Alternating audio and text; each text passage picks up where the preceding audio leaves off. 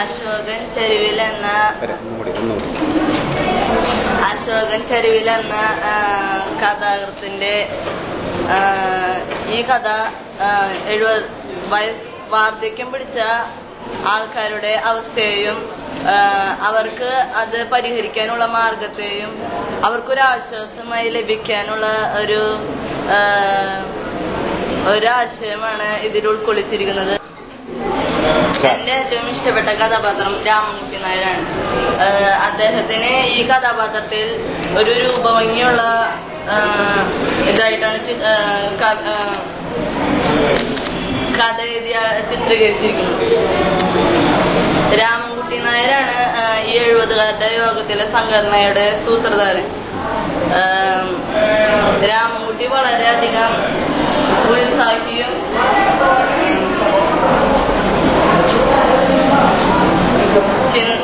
ചിന്താശീലമുള്ളവനും വളരെയധികം തന്റെ ഇടമുള്ള ഒരു വ്യക്തിയാണ് രാമൻകുട്ടി നായർ. എന്നാൽ അച്യുത നായർ അച്യുത നായരുടെ കാര്യത്തിൽ വളരെ മറിച്ചാണ് ഈ കഥയിൽ ഉൾക്കൊള്ളിച്ചിരിക്കുന്നത്. അദ്ദേഹത്തെ ഷേക്സ്പിയർ പറഞ്ഞ പോലെ മരണം അദ്ദേഹത്തെ എപ്പോഴും വേട്ടയാടിക്കൊണ്ടിരിക്കുകയാണ്. അദ്ദേഹത്തിന്റെ ഭാര്യ മരിച്ചപ്പോൾ തന്നെ അദ്ദേഹത്തിന് അതിന്റെതായ സങ്കടങ്ങൾ അനുഭവിക്കേണ്ടി വന്നു. തന്റെ മകനിൽ നിന്നും ഭാര്യയിൽ നിന്നും മരുമകളിൽ നിന്നും ഒരു പരി പരിഗണനയോ സ്നേഹമോ അദ്ദേഹത്തിന് ലഭിച്ചില്ല. എന്നാൽ താല്പര്യമില്ലാത്ത ഒരു പ്രസിഡന്റ് സ്ഥാനത്തിൽ അദ്ദേഹം ചേരുകയും ഒരിക്കൽ തന്റെ മകൻ അപകടത്തിൽ പെടുമ്പോൾ അത് ഉപേക്ഷിക്കുകയും ചെയ്യുന്ന ഒരു കഥാപാത്രമാണ് അച്യുതൻ അച്യുത മാഷിന്റെ എന്നാൽ രാമൻകുട്ടിയുടെ ജീവിതത്തിൽ ഇങ്ങനെയൊന്നും സംഭവിക്കുന്നില്ല. അത് അദ്ദേഹത്തിന്റെ ഉണർത്ത ബോധവും തന്റെ ഇടവുമാണ് എന്ന് ഞാൻ വിശ്വസിക്കുന്നു അച്യുതമാഷിന് അച്യുത മാഷിന് തന്റെ മക മകൻ മരിച്ചപ്പോ അദ്ദേഹത്തിന്റെ മകന്റെ കുടുംബത്തിന്റെ കാര്യം കൂടിയും ഈ അച്യുത മാഷിനെ നോക്കേണ്ടി നോക്കേണ്ടി വന്നു. എന്നാൽ രാമൻകുട്ടി മാഷിന് അങ്ങനെയൊന്നും ലഭിച്ചില്ല. വൃദ്ധസദസ് ഇപ്പോൾ വളരെ വളരെ കൂടി വരുന്ന സാഹചര്യത്തിൽ എഴുപതുകാരുടെ യോഗം എന്നത് നമ്മുടെ നാട്ടുകാർ ഒരു തമാശയായിട്ടാണ് കാണുക. എന്നാൽ ഇതിന്റെ സൂത്രധാരനായ രാമൻകുട്ടി അത് ഒരു വലിയ മഹിമയായിട്ടാണ് കണക്കാക്കുന്നത്. അച്യുതമാഷ അച്യുത ഇതിലൊരു കോമാളിയെ പോലെയാണ് ചിത്രീകരിച്ചിരിക്കുന്നത്. ഏറ്റവും അവസാനം തന്റെ മരുമ തന്റെ മകന്റെ കുടുംബത്തെ നോക്കേണ്ടി വന്ന ഒരു കോമാളി പോലെയാണ് എനിക്ക് തോന്നിയിട്ടുള്ളത്.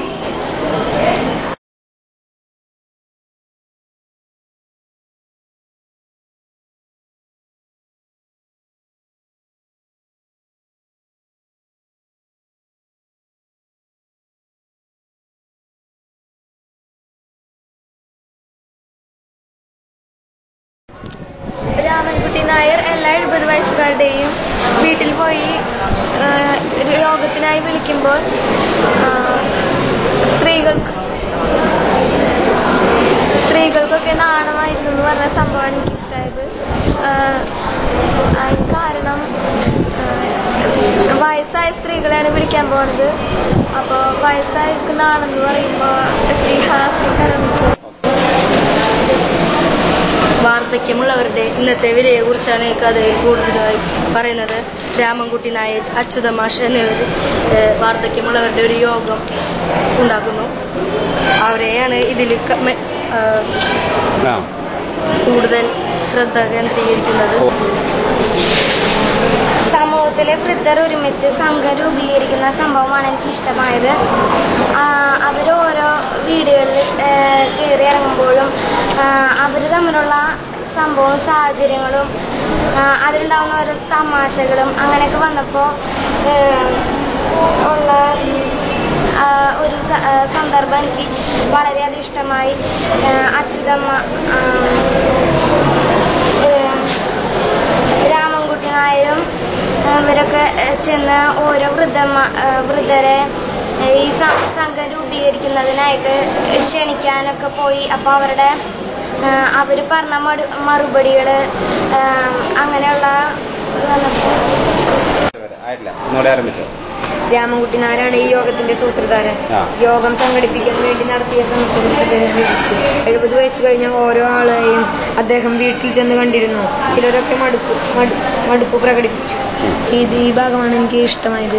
രാമൻകുട്ടി നായരെ ഇത്ര വയസ്സായിട്ടും നടന്ന് നടന്ന് ഓരോ വീട്ടിൽ ചെന്നും ഈ സംഘടനയ്ക്ക് വേണ്ടി മുൻകൈയെടുത്ത് ആൾക്കാരെ വിളിച്ച് നടക്കാൻ പോയി ഏഹ് വിളിച്ചു കൊണ്ടുവന്നു.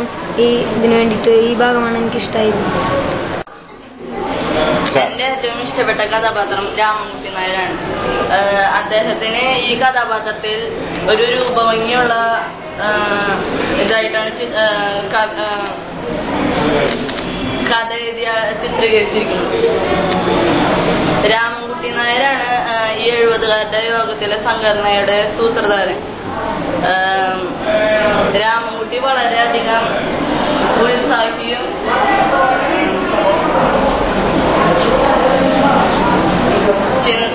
ചിന്താശീലമുള്ളവനും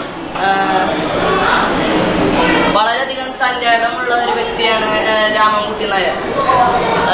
എന്നാൽ അച്യുതൻ നായർ അച്യുതൻ നായരുടെ കാര്യത്തിൽ വളരെ മറിച്ചാണ് ഈ കഥയിൽ ഉൾക്കൊള്ളിച്ചിരിക്കുന്നത് അദ്ദേഹത്തെ ഷേക്സ്പിയർ പറഞ്ഞ പോലെ മരണം അദ്ദേഹത്തെ എപ്പോഴും വേട്ടയാടിക്കൊണ്ടിരിക്കുകയാണ്.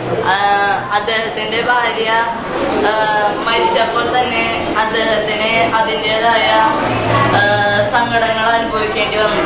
തന്റെ മകനിൽ നിന്നും ഭാര്യയിൽ മരുമകളിൽ നിന്നും ഒരു പരി പരിഗണനയോ സ്നേഹമോ അദ്ദേഹത്തിന് ലഭിച്ചില്ല. എന്നാൽ താല്പര്യമില്ലാത്ത ഒരു പ്രസിഡന്റ് സ്ഥാനത്തിൽ ആ, അദ്ദേഹം ചേരുകയും ഒരിക്കൽ തന്റെ മകൻ അപകടത്തിൽ പെടുമ്പോൾ അത് ഉപേക്ഷിക്കുകയും ചെയ്യുന്ന ഒരു കഥാപാത്രമാണ് അച്യുതൻ അച്യുതൻ മാഷിന്റെ എന്നാൽ രാമൻകുട്ടിയുടെ ജീവിതത്തിൽ ഇങ്ങനെയൊന്നും സംഭവിക്കുന്നില്ല. അത് അദ്ദേഹത്തിന്റെ ഉണർത്ത ബോധവും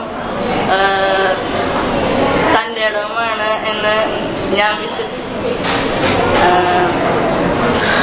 അച്യുതമാഷിന് തന്റെ മക മകൻ മരിച്ചപ്പോ അദ്ദേഹത്തിന്റെ മകന്റെ കുടുംബത്തിന്റെ കാര്യം കൂടിയും ഈ അച്യുതമാഷിനെ നോക്കേണ്ടി നോക്കേണ്ടി വന്നു. എന്നാൽ രാമൻകുട്ടി മാഷിനെ അങ്ങനെ ഒന്നും ലഭിച്ചില്ല. വൃദ്ധസദസ് ഇപ്പോൾ വളരെ വളരെ കൂടി വരുന്ന സാഹചര്യത്തിൽ എഴുപതുകാരുടെ യോഗം എന്നത് നമ്മുടെ നാട്ടുകാർ ഒരു തമാശയായിട്ടാണ് കാണുക. എന്നാൽ ഇതിന്റെ സൂത്രധാരനായ രാമൻകുട്ടി അത് ഒരു വലിയ മഹിമയായിട്ടാണ് കണക്കാക്കുന്നത്. അച്യുതമാഷ അച്യുത ഇതിലൊരു കോമാളിയെ പോലെയാണ് ചിത്രീകരിച്ചിരിക്കുന്നത്. ഏറ്റവും അവസാനം തന്റെ മരുമ തന്റെ മകന്റെ കുടുംബത്തെ നോക്കേണ്ടി വന്ന ഒരു കോമാളി പോലെയാണ് എനിക്ക് തോന്നിയിട്ടുള്ളത്. ഈ യോഗത്തിനിടയ്ക്ക് ചായ വരുത്താനായിട്ട് രാമൻകുട്ടി നായര് ആശ ചോദിക്കുന്നുണ്ട്. അപ്പോൾ രാമൻകുട്ടി നായർ അപ്പം ചോദിച്ചു "ചാ- ചായക്ക് മധുരം ആവശ്യമില്ലാത്തവർ ആരൊക്കെയാണ്? അപ്പോൾ യോഗത്തിലുള്ളവർ പറഞ്ഞു ആരും പറഞ്ഞില്ല മധുരം വേണ്ടാന്ന്. ഇതാണ് എനിക്ക് ഏറ്റവും ഇഷ്ടപ്പെട്ട സാഹചര്യം. എഴുപത് വയസ്സ് വരെ മക്കളുടെ നിയന്ത്രണത്തിലാണ് അവർ കഴിഞ്ഞത്. ഒന്നനങ്ങിയാൽ വരെ മക്കൾ അവരെ ഇതും കണ്ടുപിടിക്കും ഇപ്പോൾ അവർക്ക് അങ്ങനെയൊന്നും ഇല്ല അപ്പോൾ അവർക്ക് ഈ യോഗത്തിന് വന്നപ്പോൾ അവർക്ക് സന്തോഷമാണ് അവർക്ക് സ്വാതന്ത്ര്യം കിട്ടിയതുപോലെയാണ് തോന്നുന്നത്.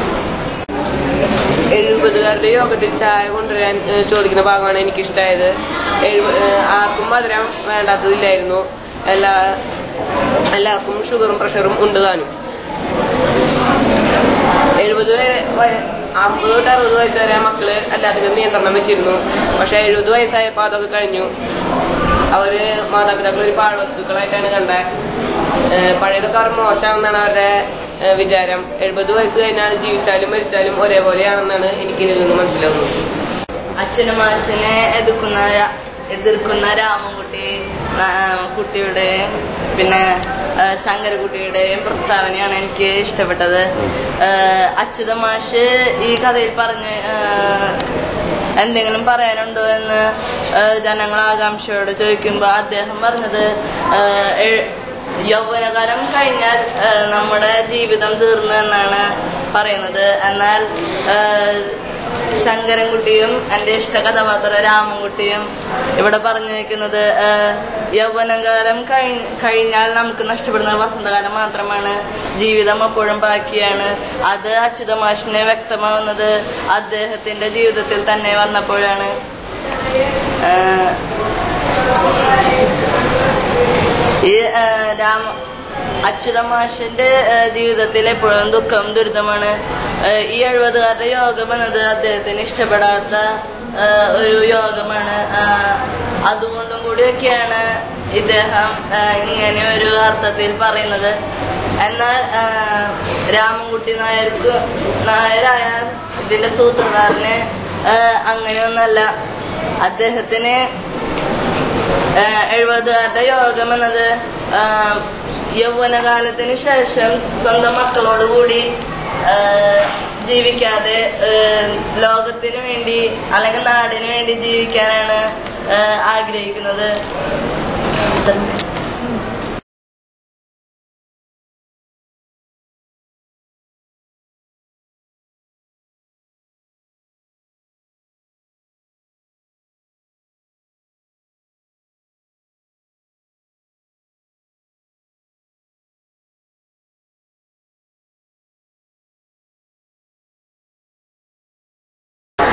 എഴുപതുകാരുടെ എഴുപതുകാരുടെ യോഗ എന്ന കഥയിൽ ഈ ഇപ്പോൾ നടന്നുകൊണ്ടിരിക്കുന്ന സമൂഹത്തിലെ ആനുകാലിക പ്രസക്തി നേരിടുന്ന വിമർശിക്കപ്പെടുന്ന ഒരു കഥയാണ്.